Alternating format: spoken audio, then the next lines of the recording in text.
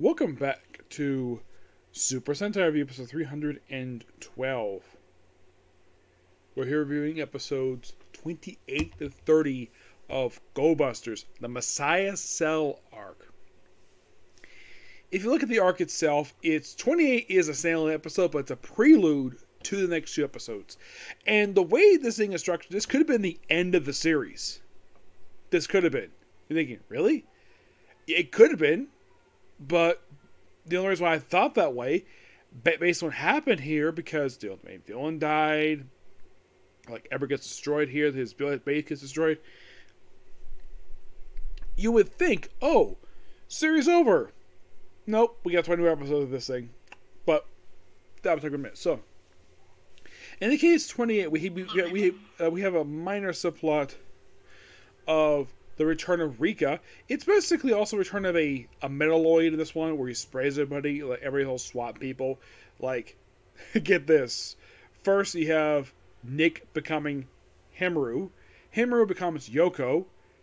And this is hilarious. Ryuji becomes Enter, which I found be so funny. He's like, "Why am I Enter?" I'm surprised, and the, the way it's like reacting to this, and, oh, and of course Yoko becomes Himuru is so funny. And this this multiplayer roller coaster they found oh his his secret his weakness weakness is he's he's uh, afraid of chickens. And in this very episode, we find out the reason why he's afraid of chickens because if he hadn't seek and got, got caught up in a chicken coop, and somehow chickens decided to attack him for some reason in the chicken coop, and that's why he freezes every time he sees chicken.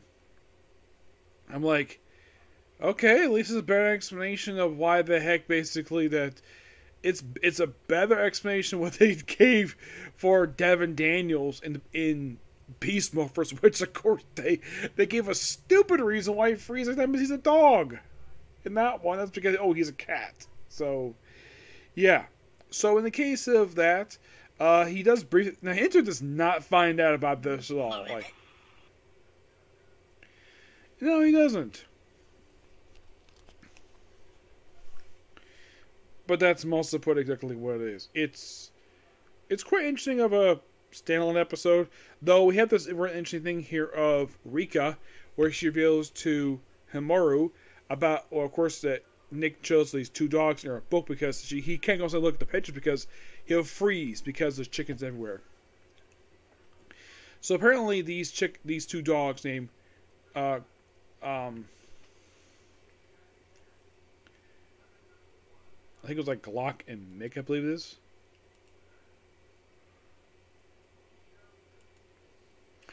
Which, of course, basically, this is also the, the same name that Escape gives her, well, her guns. Yeah, and all this is, it is just pure setup for the next two episodes. Yep, that's simply put exactly what this is. Because of course, at the end of this uh, end of this episode, we see Messiah becoming Messiah Cell. If you see Beast Morphers, you know this is basically the robot form Evox assumed throughout the remainder of season two, uh, season one, and pretty much the entirety of season. Actually, pretty much the entirety of season two, he pretty much basically had this form. This in the in this series, first time it shows up, and from what I've read, this form only appears for three episodes. But given the fact that Beast Morphers appear a lot more, they probably like this thing, so probably the reason why I hear a lot more. So the plan is, well, the episode, well, then we see him transform into this. Of course, we see what Messiah really is. Well, this is a form of his, but we'll get more of it next episode. So the next episode opens up. It seems like though we see. By the way, when we see Messiah's base, we see what you see. His base is the old Transport Research Center that was transported 13 years before the series. That's his base. Yes, this complex is his base. The very base that everybody basically has sacrificed himself in order to basically save the world. We also see a mysterious thing inside on the ground, and in this dream sequence that Moru has, is that it's coming out of the ground, and he's doing this while just at a table with Nick. Okay, so Then, of course, he's basically called to the to the special ops meeting room because we have they, they apparently see a message from his father. Now, this is the first time he's heard from his father in 13 years. If you watch the series, there's the reason why for this. So, according to message, you get, you get now go to hyperspace to stop Messiah. If it doesn't, basically come to the real world itself. So, kind of in a way, they reveal that uh, Jin actually has been, had been working for Messiah, but actually against his will. He had no desire to do it, but he had no choice in the matter. So, but he, but he, he basically is a traitor to him, mostly. So, he basically prepares him to transport into hyperspace. And there's no new monster this one, which I'll get more that. So, basically, Enter basically informed about this, like, we're not going to send a monster or another Megazord. We're basically going to do this ourselves. Don't waste energy. So we see a, we see escape cover up her skin. Like, why? She's hot. Why the heck would you cover up for? Enter wears like an outfit that you would see something. Well, a guy like this wear. So.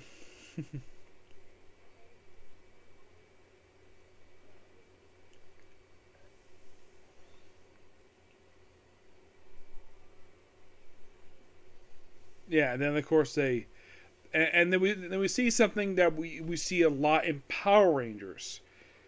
The common show of Power Rangers that toward the end of the season, we had the villains just break up, just bust in their base, basically wreck stuff, and presumably blow up their base operations. Sentai, this has happened like once or twice throughout the entire. So I've seen this. It happened in Goranger. It happened in Carranger. And aside from those two, I don't think it's happened any. Well, as far as I can tell, I don't think it's happened any time where the villains break into the base. When it comes to Sentai, you thinking, what about Gaoranger? Nope. Hurricane Ranger, not really. So, they, of course, they're trying to not break into the main media room. Oh no, they're trying to stop the action base itself.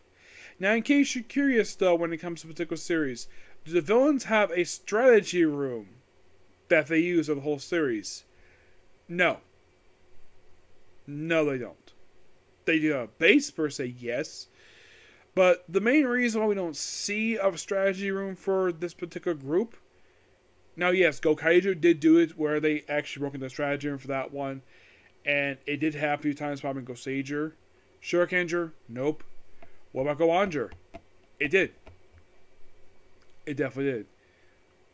Gekiranger? Oh yes, definitely.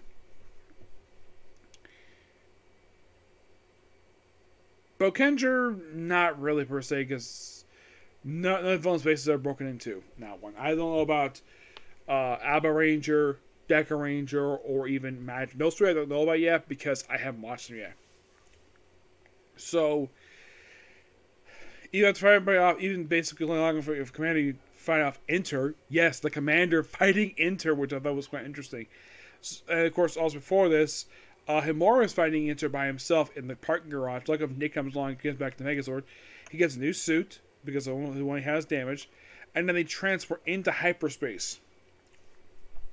And, and by the way, they, they explained this in episode 27 where the Morpher has actually got a special, let's just say, ability to allow people to move around in hyperspace because it's like very heavy gravity. Uh, it's like it's like 30 minutes, where it's more stable. So basically, they go and by, the way, they, they even sort of have they apparently the commander because he he was a friend of basically the Red father. Excuse me. He had blueprints to the actual base itself. So basically, they go in and they go inside, and then the Messiah himself. It's like how dare you bring it to my domain? How is this your domain? This is the domain of Messiah. I am Messiah, and here are my troops. And he brings back four dead Metaloids. Yep. He brings back Cutterloid, who was destroyed back in episode 4. Pomodoroloid, who was destroyed back in episode 16. And Keloid. You're like, really? Yes, really. Yep.